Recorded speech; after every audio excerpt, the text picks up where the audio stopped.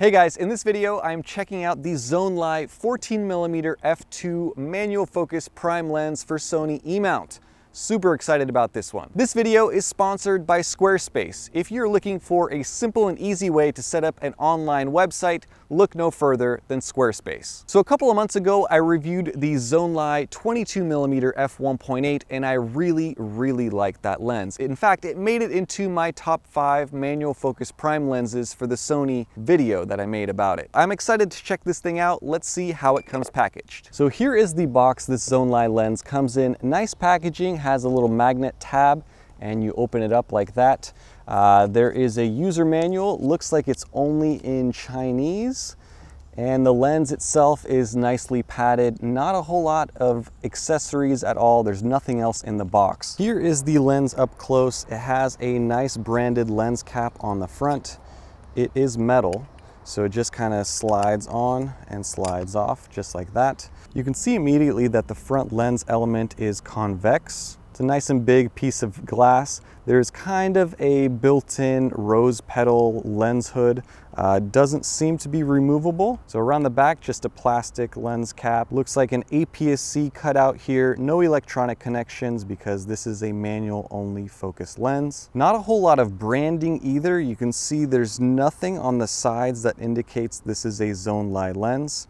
On the front there is, so Zonlai, serial number, and then 14 millimeter f2.0 and then 72 millimeter filter thread. Towards the bottom you have the aperture control, no distinct clicks, it goes from f2 to f16, again declicked, and then the focus ring, which is right here. Not a whole lot of range, uh, I would say about a quarter turn, and that's it. There are some markings in this kind of funky old style font in feet and meters, so infinity, and then 0.2 of a meter and 0.6 of a foot.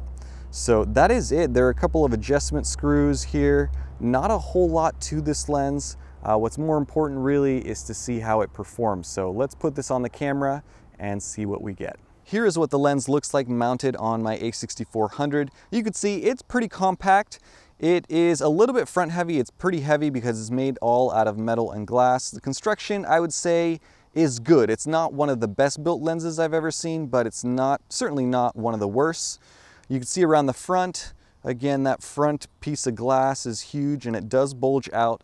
Now they include a screw-on adapter if you want to use a 72 millimeter filter thread. You can screw that on and then use a filter on the front of this lens if you want to. The focus ring is easy to access, has nice grip, it's easy to turn, has almost that perfect weight. It's not too light, it's not too heavy. The aperture control at the bottom is nice and smooth. I wish it was a little bit tougher to turn because you can accidentally bump this and I found that there were many instances where I was taking a photo and then I looked down and I was somewhere in between f2 and f2.8 because I had slightly bumped it Overall, I'd say it is a good looking package. It's about a centimeter longer than a Sony 35 for those of you who have one of those for reference. So far, this lens looks great. Before I show you some sample photos, let's talk about today's video sponsor, Squarespace. Squarespace is an all-in-one platform where you can build a simple, clean, elegant online presence. Now, I am by no means a web designer, but I took 45 minutes, in fact, I timed myself this morning and I created a website for my wife and I's real estate business here in the Austin area. There are so many tools packed into Squarespace. You can use it to customize, you can create an e-commerce website, you can create a portfolio if you have a photography business, and all of this is done seamlessly. And head over to squarespace.com for your free trial, and once you're ready to launch, you can go to squarespace.com slash arthurr to receive 10% off your website or domain. So now let's check out some sample photos and videos using this Zonlai lens on my a6400. Here we go.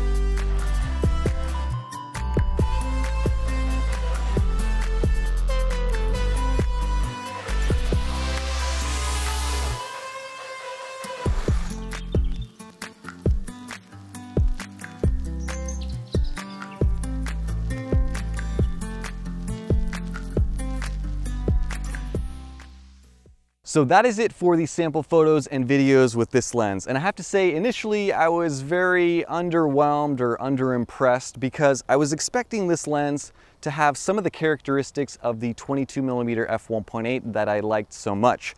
Primarily, I was looking at the colors of that old lens, the 22 millimeter.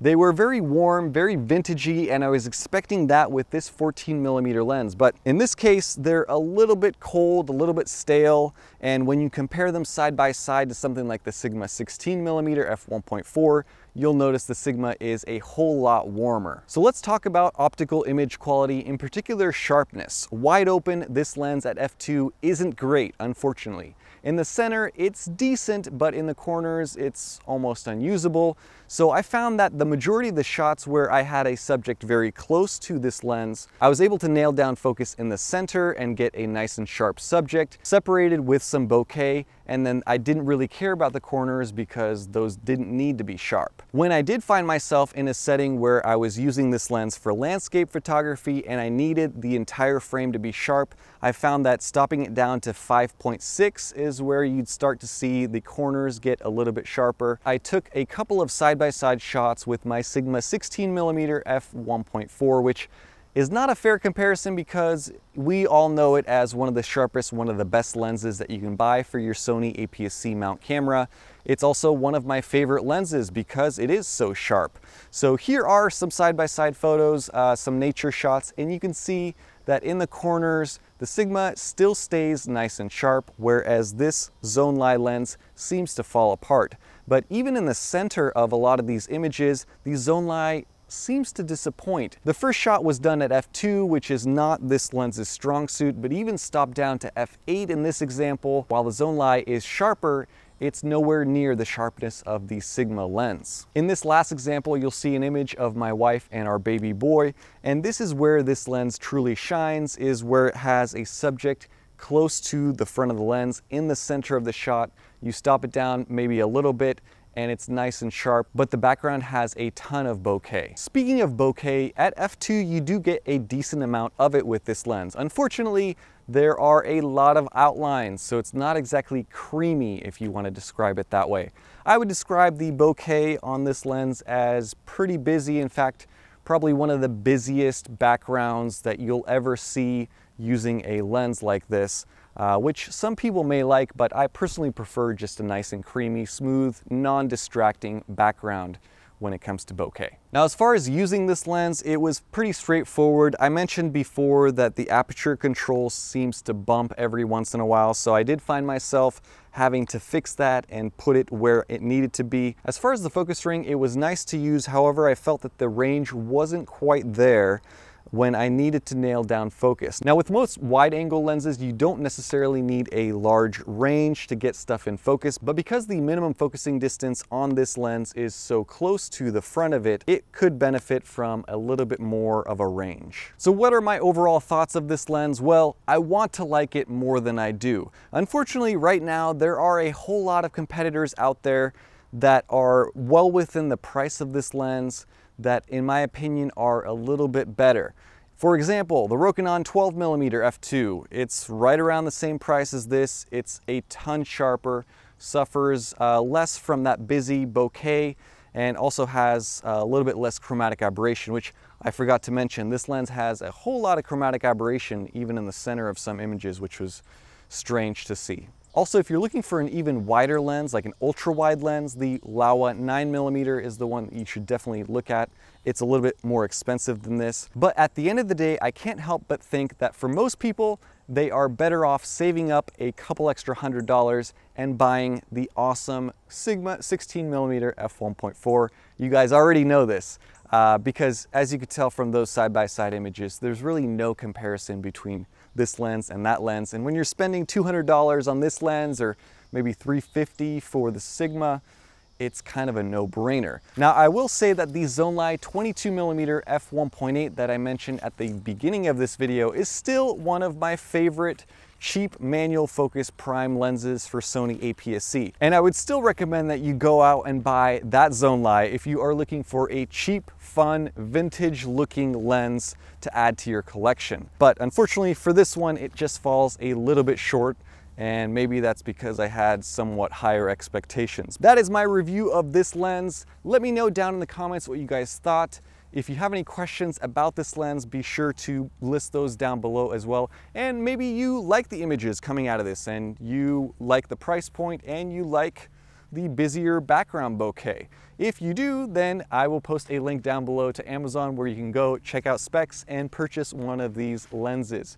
Thank you guys so much for watching. Thanks for all of your likes, comments, and support. Stay tuned for more and have a nice day. Bye-bye. Who knew that making a YouTube video was so much work? See this making YouTube videos thing? It's hard manual labor. Where? Look at that. It's a hunter deer. Oh my goodness. Where'd it go? Jason, did you know that deers come out to hunt at night? Are they nocturnal? Yeah, deers are very nocturnal.